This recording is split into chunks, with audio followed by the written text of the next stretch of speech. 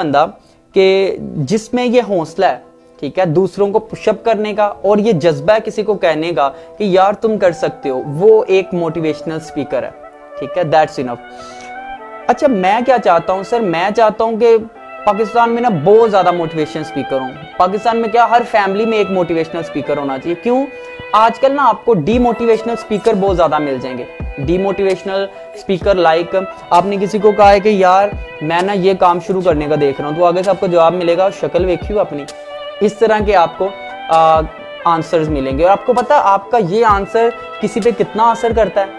और आपको ये पता है कि आपका ये कहना कि यार, तुम कर सकते हो ट्राई करो, कोई बात नहीं, ना हुआ तो फिर मैं तुम्हारे साथ कोशिश करूँगा। ये कितना असर रखता है? ठीक है, आपको हज़ारों ऐसे लोग मिल जाएँगे जो सिर्फ़ फेसबुक ओपन करते हैं किसी को डीमोटिवेट करने के लिए। किसी की एफर्ट को अप्रिशिएट नहीं करेंगे उसको डिमोटिवेट करेंगे ठीक है?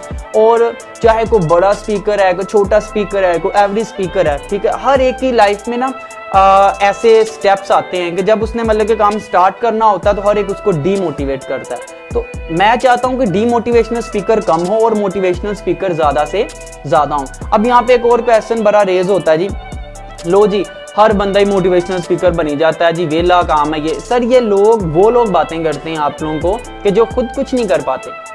बहुत सर, इस दुनिया का सबसे मुश्किल काम है किसी को खुश करना, किसी को अपनी बातों से इंस्पायर करना, ये सबसे मुश्किल काम है।